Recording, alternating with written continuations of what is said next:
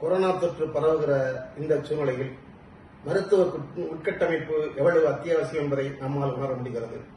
மதுரை மாவட்டம் திருப்பவன்றம் தொகுதியில் அமையவுள்ள எய்ம்ஸ் மருத்துவமனைக்கான பல்வேறு பணிகளை மிக விரைவாக நடத்திட ஒரு சிறப்பு அலுவலரை நியமித்து ஒற்றை சலரை முறையில் அனைத்து அனுமதிகளையும் ஒரு சேர பெற்று மிக விரைவாக அந்த பணிகளை முடிப்பதற்கான பணிகளை விரைவாக செய்யும் என்று மாண்புமிகு மத்திய சுகாதாரத்துறை அமைச்சர் மதிப்பிற்குரிய ஹர்ஷவர்தன் அவர்களுக்கு கடிதம் எழுதியுள்ளேன்.